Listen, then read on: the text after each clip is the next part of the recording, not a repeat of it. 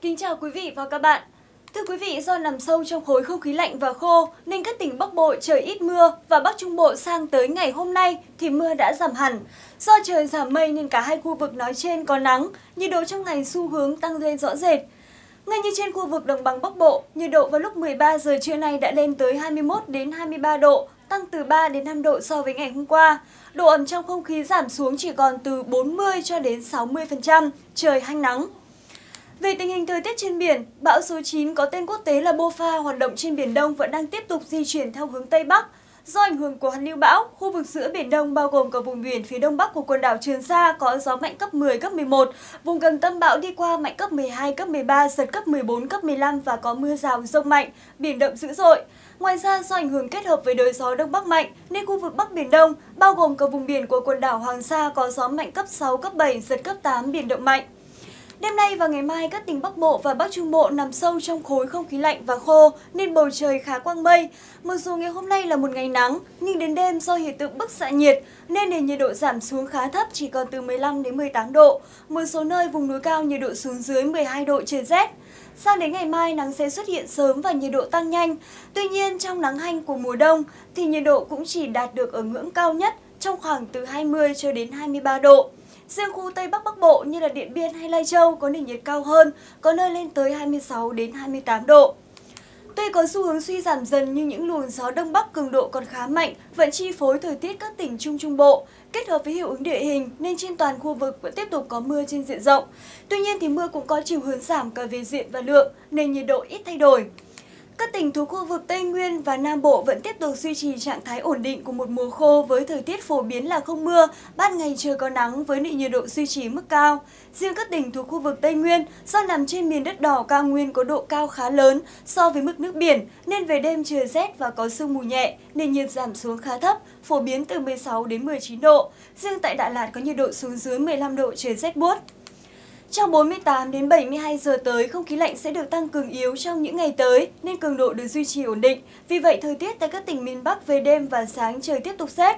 Khu vực Trung Trung Bộ trời còn nhiều mây và có mưa. Các khu vực khác thời tiết ít thay đổi, ngày nắng. Sau đây là phần dự báo chi tiết cho các khu vực. Tại khu vực phía Tây Bắc Bộ nhiều mây, có mưa ở vài nơi, gió nhẹ, với nhiệt độ thấp nhất từ 15 đến 18 độ và nhiệt độ cao nhất từ 20 đến 23 độ, có nơi từ 25 đến 28 độ. Tại khu vực phía đông bắc bộ đêm và sáng nhiều mây, có mưa nhỏ ở vài nơi, trưa chiều trời nắng, gió nhẹ, trời rét. Nhiệt độ thấp nhất từ 14 đến 17 độ, vùng núi có nơi từ 9 đến 12 độ và nhiệt độ cao nhất là khoảng 21 cho đến 24 độ.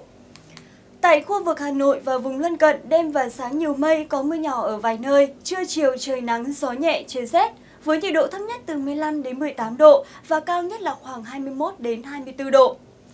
Xuôi xuống khu vực Bắc Trung Bộ, tại đây đêm và sáng nhiều mây, có mưa nhỏ ở vài nơi, trưa chiều hừng nắng, gió nhẹ, trời rét, với nhiệt độ thấp nhất từ 16 đến 19 độ và nhiệt độ cao nhất là khoảng 21 cho đến 24 độ. Khu vực Trung Trung Bộ nhiều mây, có mưa rào dày rác và có nơi có rông, với gió Đông Bắc cấp 2, cấp 3, nhiệt độ thấp nhất từ 20 đến 23 độ và nhiệt độ cao nhất là khoảng 24 đến 27 độ. Khu vực Nam Trung Bộ mây thay đổi, có mưa ở vài nơi, ngày nắng, gió nhẹ, Nhiệt độ thấp nhất từ 22 cho đến 25 độ và cao nhất là khoảng 29 đến 32 độ. Vùng cao Tây Nguyên mây thay đổi, đêm không mưa, ngày nắng, gió nhẹ. Nhiệt độ thấp nhất từ 16 đến 19 độ và nhiệt độ cao nhất là khoảng 27 cho đến 30 độ. Khu vực Đông Nam Bộ mây thay đổi, có mưa ở vài nơi, ngày nắng, gió nhẹ. Nhiệt độ thấp nhất từ 21 đến 24 độ và cao nhất là khoảng 31 đến 34 độ. Khu vực Tây Nam Bộ mây thay đổi, ngày nắng, chiều tối có mưa rào và rông ở vài nơi, gió nhẹ. Nhiệt độ thấp nhất từ 22 đến 25 độ và cao nhất là khoảng 30 đến 33 độ. Chuyển sang dự báo thời tiết cho khu vực Biển Đông, quần đảo Hoàng Sa có mưa rào và rông ở vài nơi, tầm nhìn xa trên 10 km, gió Đông Bắc cấp 6, có lúc cấp 7, giật cấp 8 biển động, nhiệt độ dao động từ 25 đến 30 độ. Quần đảo Trường Sa có mưa rào và rông mạnh ở phía Đông Bắc, tầm nhìn xa trên 10 km giảm xuống từ 4 đến 10 km trong mưa, gió Đông Bắc cấp 5 có lúc cấp 6 biển động. Phía Đông Bắc còn gió mạnh cấp 10, cấp 11, giật trên cấp 11 biển động dữ dội, nhiệt độ phổ biến từ 26 đến 31 độ. Như vậy, trong 24 giờ tới, thời tiết tại các tỉnh Bắc Bộ và Bắc Trung Bộ không mưa, trưa chiều trời nắng, đêm và sáng trời rét. Khu vực Trung Trung Bộ có mưa rào và rông, Nam Trung Bộ, Tây Nguyên và Nam Bộ ít mưa và có nắng cả ngày. Cảm ơn quý vị đã theo dõi bản tin thời tiết của kênh VTC14. Xin kính chào tạm biệt và hẹn gặp lại.